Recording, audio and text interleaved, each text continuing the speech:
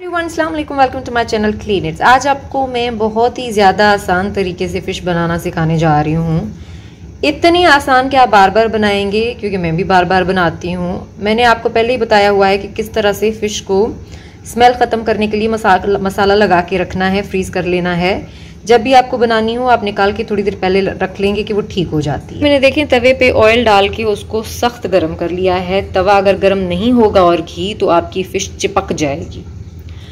तेल आपने अपनी मर्ज़ी से डालना है कि कितनी आपके पास फ़िश है। पर अगर कम पड़ भी जाए तो आप बाद में डाल सकते हैं। अब जब सख्त गर्म हो जाए ना, ये सख्त गर्म तो आपने आँच जो है वो स्लो कर लेनी है, ताकि आपको छींटे ना लगे। सबसे पहले आपने क्या करना है, ये वाला पार्ट घी पे डालना है इस तरह से। ब्लैक छिलके वाला नहीं, ये इस तरह वाला। ये आप डाल लेंगे फ़िश सारी जितनी भी आपके पास होगी तवे पे इस पर आपको ज़्यादा चीज़ों की ज़रूरत ही नहीं है। एक दो मसाला डाल के फ़िश रेडी इसको हम थोड़ी देर जो है इसी तरह पकने देंगे ताकि नीचे से ब्राउन हो जाए। उसके बाद हम इसकी साइड चेंज करेंगे। बीच में हम इसको चेक करेंगे कि ब्राउन होना शुरू हुआ है। ये देखिए ब्राउन होना शुरू हुआ है। इसको थोड़ा सा और पकाएँगे और यहाँ पे देखें ब्राउन हो गई है। हमने इतना इतना ब्राउन कर लेना है इसको फ़िश को, एक साइड से। ये इस तरह से आप इसकी साइड चेंज कर देंगे।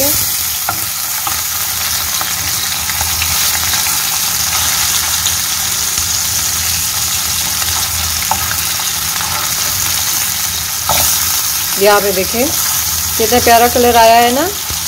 ये इजीएस्ट फ़िश फ्राई है भाई।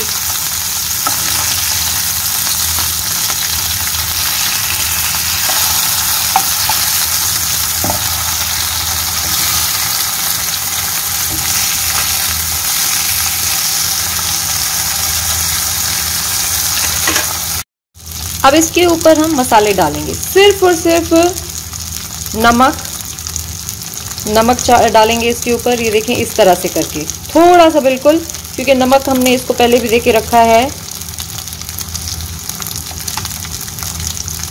ये इस तरह से नमक डाल लेंगे। सही? थोड़ा सा। उसके अलावा धनिया, सूखा धनिया, घर का पिसा हुआ ये इस तरह से पूरा फिल कर देना है, ये देखें इसके ऊपर हाथ से ही लगाना है आपने। चम्मच से भी डाल सकते हैं बट इस तरह से करके लगा लेना है। सारा कमाल ही धनिए का और फ़िश का है। फ़िश भाई फ्रेश होनी चाहिए, ये दिमाग में रख लें। फ्रेश मतलब कि ताज़ी ताज़ी आपने लाके फ्रीज़ की हो, रखी हुई स्मेल वाली नहीं। मतलब दुकान पे जो पड़ी हुई होती है स्मेल वाली।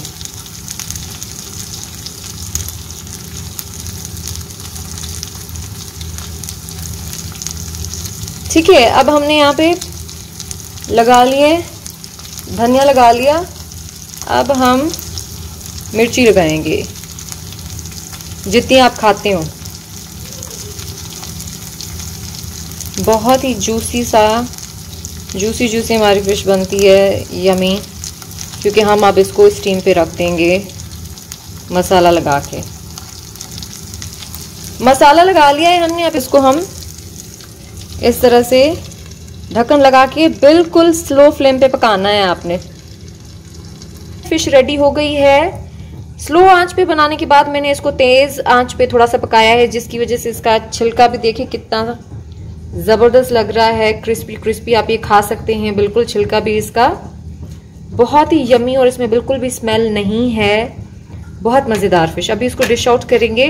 पे हमारी क्रिस्पी फ्राइड फ़िश रेडी हो गई है। इसको व्हाइट राइस के साथ खाएँ या रोटी के साथ, आपकी मर्ज़ी है। मैं हमेशा इसके साथ फ्राइड आलू बनाती हूँ।